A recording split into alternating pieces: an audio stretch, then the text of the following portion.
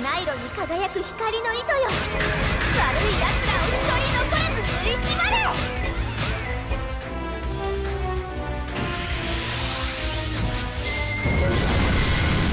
我が滅びても次なる銀河が生まれよう。七色に輝く光の糸よ。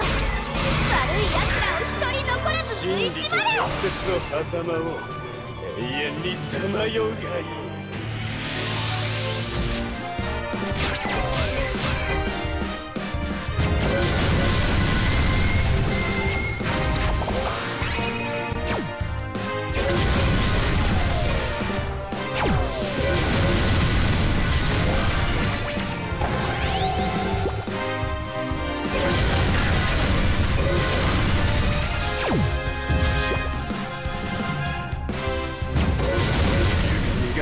身が干渉されていく。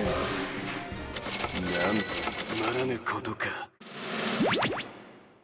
重心間ひまわりのステータスこのようになっております、はい。こちら進化で持っていたうん。マインスイーパー L が超マインスイーパー L になりまして、そして神風ユニバースキラー M 持っていたものが L にもなったので、結構自身の火力を底上げしてくれるうん。アビリティを持っております、はい。そして友情コンボに超強シャイニングピラーと全敵超メテオうん。となっておりまして全敵超メテオはまんべんなく画面全体に攻撃してくれますし、この新友情コンボの超強シャイニングピラー。はい。こちらがねちょっと当たるか当たらないかのねちょっとはあるんですけど、当たった時の威力かなりすごいことになっておりまして、うん今回使用させていただいたステージですと、うん。このねボス戦1でボスにうまいこと弱点この超強シャイニングピラー当たると、ん。ちょっと最後のゲージまで持っていけるぐらいすごい。めちゃくちゃ威力ねね。乗ってくるので、うん。かなり強力な友情コンボとなっておりました。はい。そしてストライクショットこちらスピードとパワーがアップ反撃モードになる、うん。こちら16ターンと24ターンで打てるストライクショットとなっておりまして、はい。自身がね砲撃型ですので、うん。先見解放して超砲撃型とかにしますと